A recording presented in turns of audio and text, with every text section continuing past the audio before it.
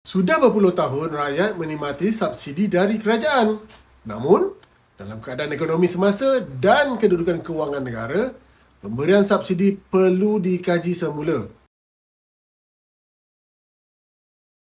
Ini adalah realiti yang perlu dan terpaksa kita hadapi. Kerajaan kena dan perlu membetulkan semula kedudukan kewangan negara. Walau macam mana sekalipun, kita kena imbang hasil yang kita dapat dan perbelanjaan yang kita keluarkan. Aku faham macam ni. Kalau gaji kau kecil, maka duit belanja pun kecil. Tak boleh lah nak hambur duit macam tu je. Dah lah duit simpanan pun makin kering. Kalau dulu pakai kereta besar, sekarang kenalah berjimat. Kau tukar. Tukar kereta yang kecil sikit, yang sesuai. Macam tu jugalah dengan isu subsidi ni. Memang kena cari jalan tapi bukan bermaksud kita hapuskan terus. Sekarang ni subsidi minyak. Siapa dapat? Rakyat dapat. Okey. Tetapi orang yang pakai Rolls Royce, Mercedes besar, toke-toke kaya pun dapat subsidi minyak juga. Jadi kita kena rancang bagaimana rakyat semua dapat jangan ganggu dia.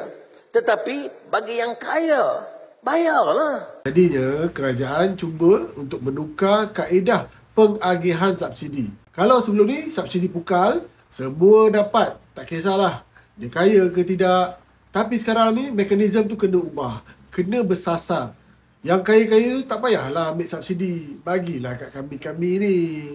Subsidi beras contohnya. Hampa kaya, hampa makan beras mahal lah sikit. Yang murah-murah, yang bersubsidi bagi kat kami. Gitulah. Sama juga dengan subsidi petrol, subsidi elektrik. Orang kaya-kaya ni nanti kerajaan bagi advantage cara lain. Potongan cukai untuk bisnes ke apa. Macam mana lah pun.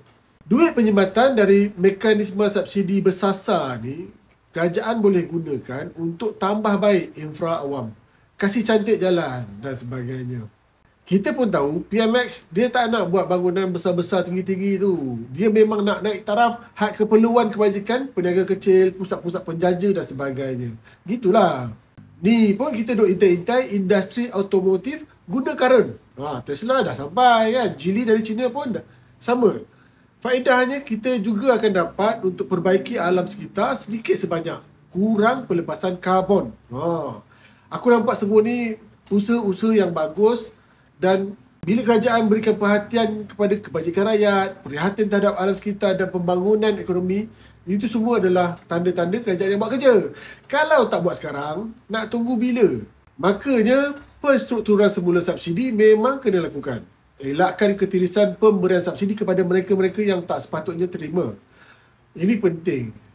Untuk jadi negara yang terus progresif, kena tengok juga jangka panjang. Pertingkatkan darjat hidup rakyat.